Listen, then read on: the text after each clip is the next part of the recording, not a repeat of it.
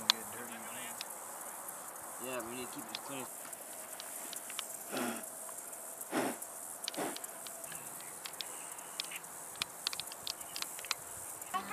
Elevation!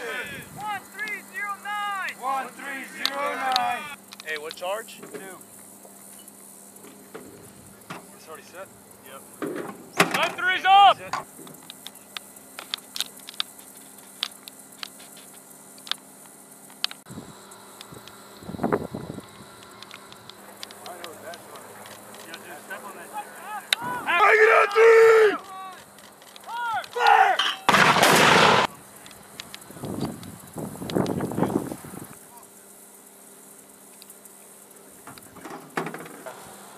I don't need to shoot more. I just got a couple of 25. So. If he needs it, it out put three! on because you know I got like two new boots. Yeah, I got fucking Dowdy and, and yeah, yeah. I'm about to go to Virginia this week too. For what? I gotta get the names. Hang it out three!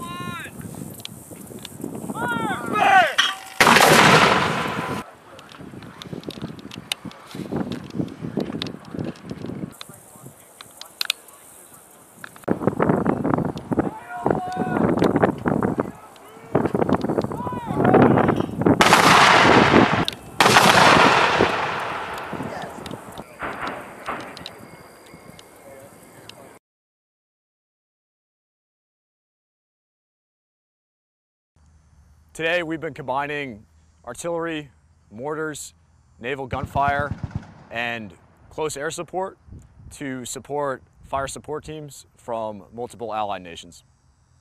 This training helps Marines practice integrating all the different assets that we have, as well as assets from across the Joint Force and allies to increase our ability to work with foreign nations, as well as work with our sister services.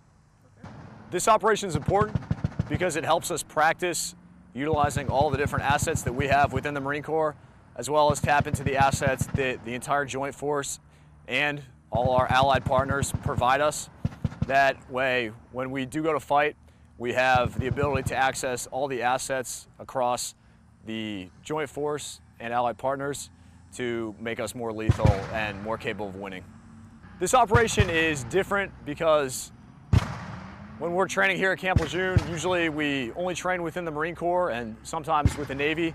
This operation combines aircraft from the entire Joint Force, specifically the Army, as well as fire support teams from Norway, Sweden, the Netherlands, France, and the United Kingdom. Working with foreign nations makes this different because they add a different perspective and they also have different tactics, techniques, and procedures and allowing us to work with them, see some of their skills, add that to our standard operating, procedures, as well as to see how they operate so that when we do work together in the future, we are more lethal.